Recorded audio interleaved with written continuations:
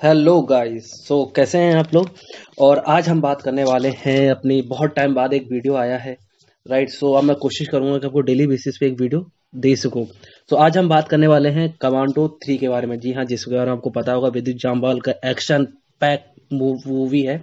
और मैं देख चुका हूँ इस मूवी को और मुझे बहुत ज़्यादा मज़ा आया है क्योंकि सारे स्टंट विद्युत जामवाल ने खुद किए हैं खुद किए हैं और बहुत ज़्यादा क्लियरली किए हुए हैं। मतलब दिखता है कि कोई भी डबल बॉडी यूज़ नहीं हुआ है। आप लोग मूवी जाके देखो आपको मज़ा आने वाला है।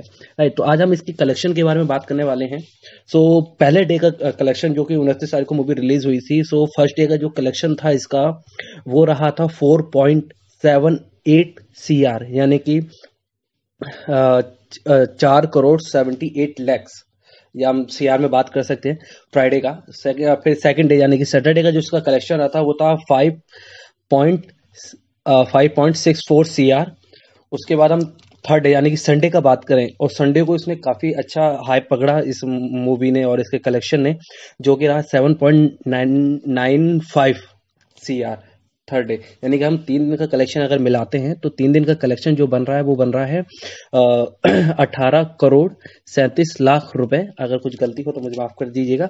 और गाइज़ आप जाके मूवी को देख सकते हो।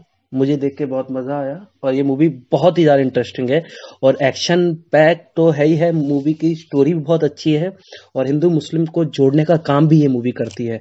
तो आप जाके देखो और कमेंट में ज़रूर बताना कि आपको ये मूवी कैसी लगी। Till then